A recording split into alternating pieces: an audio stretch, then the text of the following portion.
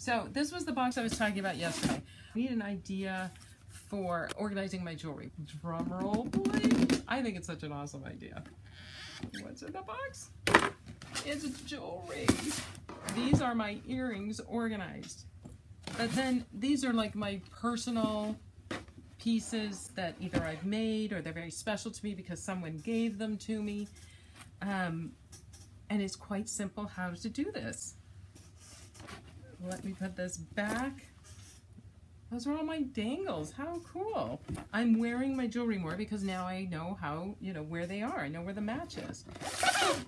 And so it's, this got me to thinking, I've got a lot of glass jewelry that I use for either teaching or photographs or whatever, or, or samples. So I put all my glass pieces in here, and these are all pieces I've made.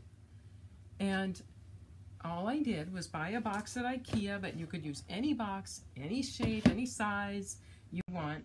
I bought one inch foam at Joann's. I'm sure Hobby Lobby has it. But look, everything stays in there. So simple to do. Uh, when it came to the earrings, of course, I just poked them in. But when it came to the necklaces, I thought, how am I going to do that? So I just made a little hairpin, you know, just a little pin out of 20 gauge wire. That seemed to be my favorite. I picked where I wanted it to be. I don't know if you guys can see that. Pick where I want it to be.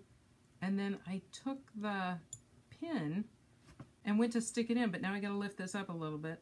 Just push it in an angle. You don't want to go straight down, obviously. Now they're all in there. It's easy peasy. So that's what's in the box, guys. Very easy. I've worn more of my earrings now because I can find them. Be cool, honey bunnies. Bye.